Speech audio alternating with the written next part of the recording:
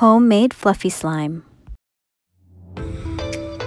You will need glue, a large bowl, pour half a cup of glue, you will need shaving cream, scoop a half cup of shaving cream, and you can use a spatula to mix.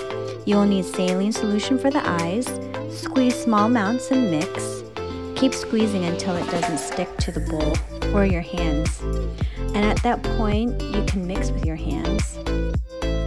You can use any type of saline solution for the eyes. The cheapest one would be recommended. You can feel when it's a nice consistency. So then you can clean the bowl with the slime.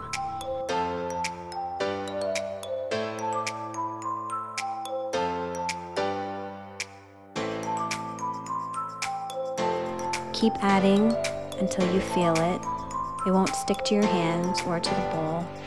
You just keep massaging and massaging all the saline in, mixing it, and then you'll feel that it's right when it doesn't stick to your hands or the bowl.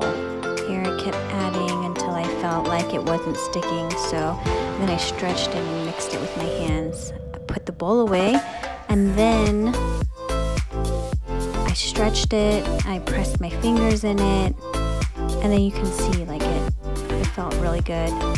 And it, I squeezed it. You'll feel it and you can see it. It's good to go. Keep stretching it, playing with it. Give it a nice jiggle.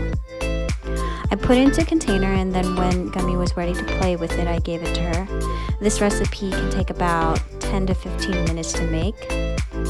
And of course you can see I sped up the video. This is how you can make fluffy slime at home, so hope you can try this recipe yourself and have fun with your little one. Please subscribe, like, and click the bell. Bye bye!